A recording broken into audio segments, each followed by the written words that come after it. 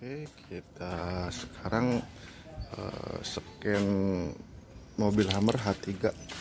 Ini keluhannya cek engine nyala. Keluhannya cek engine nyala terus apa ya? Uh, temperatur juga nggak naik.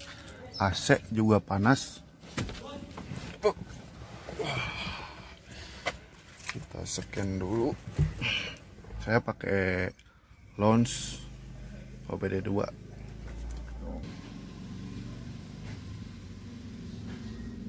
Oke, uh, soket konektor OBD nya ada di sini nih. Tuh. Di bawah setir di dekat apa namanya? pedal rem sama pedal gas. Di sini. Ini soket OBD Hammer H3. Kita coba nyalakan dulu.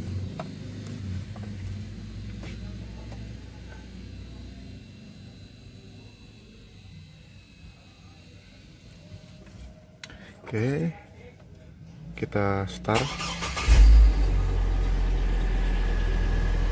Nah, ini eh, apa namanya? Indikator check engine dia eh, masih nyala terus. Indikator check engine nyala terus. Masuk gigi eh, normal ya, nggak ada nggak ada masalah. Uh, kita cari tahu penyebab indikator cek engine nyala terus nggak mau mati ketika mobil uh, dihidupkan. Uh, keluhannya sih AC juga panas terus sensor temperaturnya nggak mau naik jadi dia di bawah terus. Terus AC nya juga nggak mau nggak mau dingin nggak bisa dingin istilahnya AC off kita coba kasih on hmm. AC-nya juga panas. AC-nya panas. AC juga panas. Di sini keterangannya AC off oke kita scan dulu sebentar ya. Oke.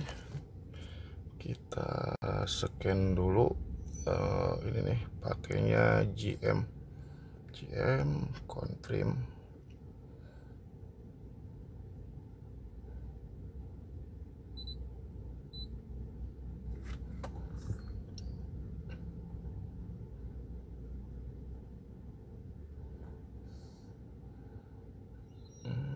automatic uh, Hammer 2 tahun 2008 Hammer H3 tahun 2008 coba kita sistem scan uh, 4 speed oke okay.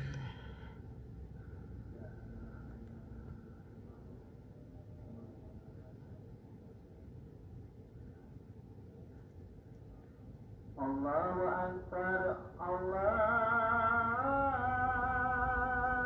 Akbar.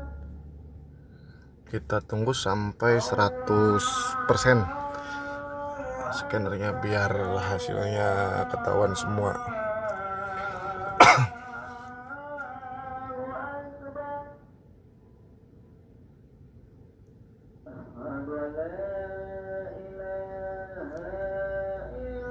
Oh udah 100% ini kita coba lihat di transmisi kontrol modul.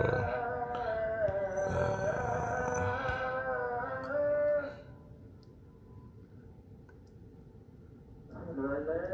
di sini keterangannya P0741 konventer clat sistem stuck. Oke. Uh, kita bisa screenshot dulu sebentar oke. Okay. kita exit. Exit exit. Kita lihat di transmisi.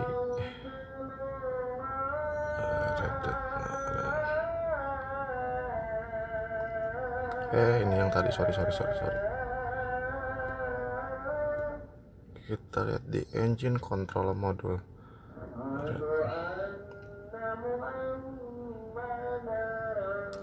engine coolant temperatur. Nah, ini di uh, apa namanya? Sensor temperatur. Ini sebenarnya bisa kita clear uh, nanti uh, cek engine-nya akan mati. Cuman uh, percuma juga kalau kita hanya clear doang. Kalau misalkan uh, spare partnya nggak diganti pasti nantinya balik lagi seperti itu. Kadangan udah diganti pun ada juga yang masih uh, tetap nyala. Istilahnya walaupun udah diganti nggak lama pasti begitu lagi seperti itu. Jadi uh, lebih baik nanti kita ganti sensor temperaturnya. Jadi ini nggak usah kita dilihat dulu biarin dulu. Nanti setelah kita ganti baru dilihat baru uh, kita tes jalan. Apakah sensor temperaturnya nyala? Eh sensor temperaturnya nyala. Apakah indikator suhunya suhu mesin bisa naik atau enggak dan AC pun harusnya uh, posisi on dan di di speedometer udah on. Ini masih off. Oke mungkin kita lanjut besok ya uh, untuk uh, untuk untuk pengecekan lebih lanjut. Sekarang kita hanya scan aja. Jadi kita cari tahu dulu di mana di mananya uh, kerusakannya. Yaitu tadi kerusakannya ada di uh, konverter sebetulnya bukan konverternya mungkin ya. Eh, di sensornya aja speed sensor biasanya yang bermasalah. Terus kalau di ECM engine control module itu di coolant temperatur. Oke? Sudah dulu kita keluar. Nah ini tadi eh, kita udah scan hasilnya sensor uh, speed sensor sama sensor temperatur. Jadi indikator cek engine ini nyala uh, penyebabnya dari sensor temperatur engine. Jadi untuk kelanjutannya uh, besok kita uh, perbaiki lagi. Nanti hasil perbaikannya uh, kita upload lagi ke YouTube. Dan nanti saya kasih tahu juga letak sensor temperaturnya di sebelah mana uh, yang Hammer H3 ya paling begitu aja dulu. Nanti kita lanjut besok lah. Oke makasih